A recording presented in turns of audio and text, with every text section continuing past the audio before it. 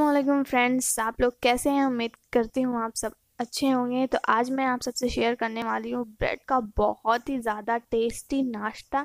इतना ज़्यादा टेस्टी नाश्ता आज हम बनाने वाले हैं जिसकी आप उम्मीद नहीं कर सकते। तो चलिए फटाफट बनाना शुरू करते हैं। तो इस रेसिपी को बनाने के लिए सबसे पहले हमें चाहिए यहाँ पे एक बर्तन, कोई सा भी बर्तन ले लो आप। उसमें कोई भी ये नहीं है यहाँ ऐसे ऐसे ही लेना है। अब इसमें हम फटाफट अंडे डालने वाले हैं। तो यहाँ पे मैं तीन अंडा ले रही हूँ। इसको फटाफट हम इसमें डालेंगे और इस तरीके से मिक्स कर लेंगे। अब क्या करना है, इसको बहुत ही ज़्यादा टेस्टी बनाना है तो इसके लिए घर में आपके जितने भी वेजिटेबल्स हों, आप वो सारे डाल सकते हैं, चाहे तो कुछ भी डाल मतलब कुछ कुछ वेजिटेबल्स भी डाल सकते हैं, या जैसे मैंने डाला है, इसमें थोड़े से इंग्रेडिएंट उस तरीके से भी डाल सकते हैं। तो सबसे पहले मैंने यहाँ पे हाफ़ टोमेटो बारीक कट कर लिया है, तीन से चार हरी मिर्च और हाफ़ मैंने यहाँ पे प्याज लिया है, इसको भी बारीक कट कर लिया है और साथ में ढेर सारी हरी धनिया मैंने डाली है क्योंकि हरी धनिया से गजब का टेस्ट आता है। मतलब रेसिपी का टेस्ट और ज़्यादा बढ़ जाता है। इन इन सब चीज़ों को डालने के बाद फिर हम फटाफट इसे मिक्स करेंगे। यहाँ पे मैंने कोई भी ऐसा इंग्रेडिएंट नहीं लिया है जो आपके घर में अवेलेबल ना हो। प्याज हो, वो चाहे हरी मिर्च हो या टमाटर हो, सभी के घर में अवेलेबल रहता है।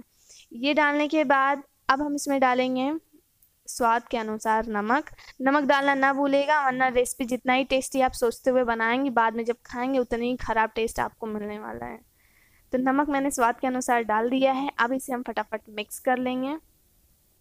अब क्या करना है, जैसे हम बनाने वाले हैं ऑमलेट तो इस ऑमलेट में सॉफ्टनेस रहे, उसके लिए हम इसमें दूध डालेंगे। दूध बहुत थोड़ा सा डालना है, एक टेबल स्पून जितना, उससे ज़्यादा नहीं।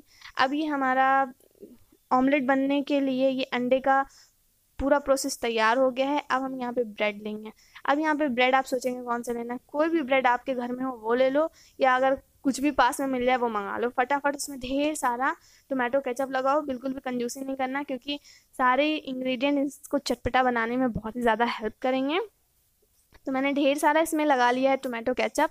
अगर आप टोमेटो केचप के जगह पे पिज़्ज़ा सॉस लगाना चाहें तो वो भी लगा सकते हैं। वैसे टोमेटो केचप सबके घर में अवेलेबल रहता है, इसीलिए मैंने वही यूज़ किया है। और अब क्या करेंगे, सबसे मेन इंग्रेडिएंट है चीज़। मैंने यहाँ पे स्लाइस चीज़ रखा हुआ था।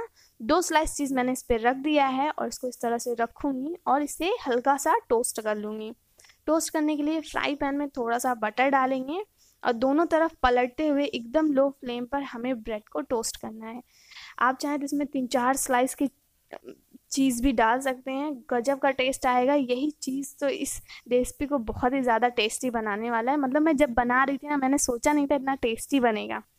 लेकिन जब खाया तो एकदम मस्त लगा खाने में। तो अब इसको अच्छे से हम टोस्ट कर लेते हैं।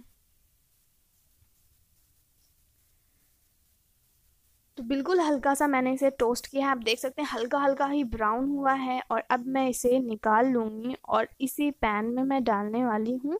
फिर से थोड़ा सा बटर फ्लेम को एकदम लो रखेंगे। और अब क्या करना है? बटर को डालने के बाद फ्लेम हमने लो ही रखा है। अंडे को एक बार जो हमने ग्रेवी मतलब जो अंडे का हमने मिक्सचर तैयार किया है, उसको एक बार मिक्स करके पैन में डाल देंगे।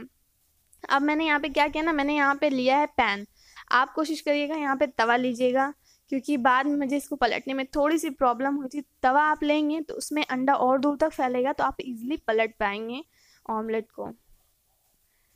तो हमें अंडे को सिर्फ़ इतना ही पकाना था कि ये हल्का सा ऊपर से कच्चा रहे, एकदम लो ही फ्लेम पर हमें सारा प्रोसेस करना है। जब हल्का सा इसमें ऊपर कच्चापन रहेगा, तब हम ब्रेड को रखेंगे और इस तरह से फोल्ड करेंगे।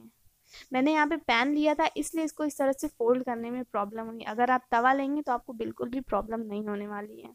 टेस्ट में कोई चेंज नहीं आएगा, चाहे आप तवा लें, चाहे आप पैन लें। तो इसको अच्छे से हम इस तरह से फोल्ड करेंगे। और अब मैं इसको पलटूँगी। हम्म, ये देखिए।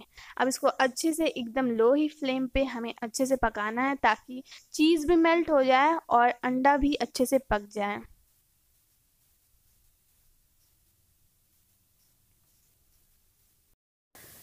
तो ये देखिए मैंने इसको दोनों तरफ़ पलटते हुए अच्छे से पका लिया है और आप देख सकते हैं बिल्कुल परफेक्ट कलर आए, कितना ज़्यादा खूबसूरत लग रहा है ना।